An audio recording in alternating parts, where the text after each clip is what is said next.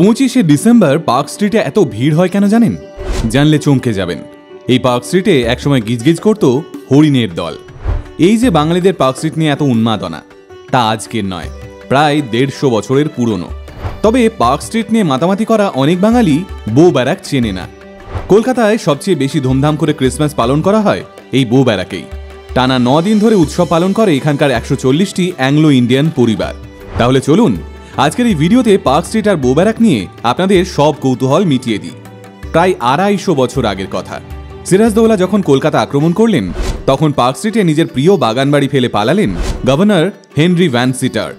তখন অবশ্য পার্ক স্ট্রিটের নাম ছিল বেরিয়াল গ্রাউন্ড স্ট্রিট, কারণ এখানে কবরখানায় মৃত সাহেবদের কবর দেওয়া হতো।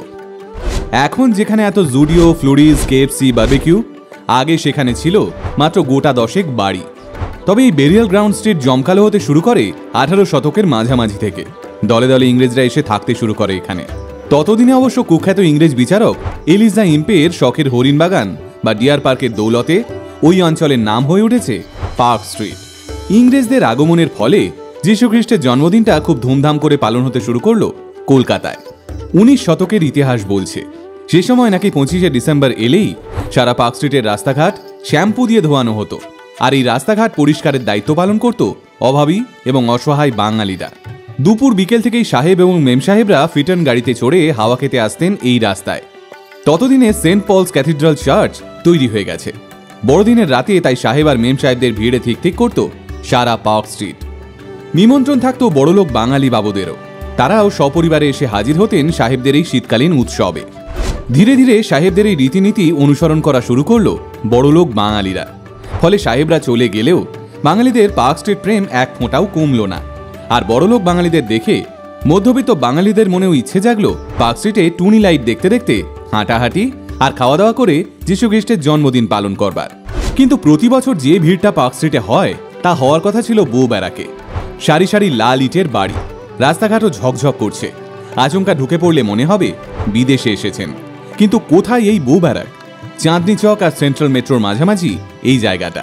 মূলত সেন্ট্রাল মেট্রোর কাছেই। এখানকার মানুষদের মাতৃভাষা ইংরেজি, কারণ বউ ব্যারাকের আশি শতাংশ মানুষই অ্যাংলো ইন্ডিয়ান। এই বউ ব্যারাকে প্রতি বছর দিন ধরে ক্রিসমাস পালন করা হয়। কিন্তু বউ ব্যারাকের ইতিহাসটা ঠিক কি?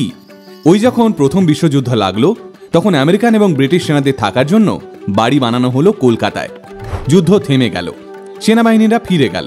কিন্তু তাদের মধ্যেই কোনো কোনো সেনা প্রেমে পড়ে গেল ভারতীয় মহিলার। কেউ বা ভারতকে ভালোবেসেই পরিবারকে ডেকে নিলেন এখানে।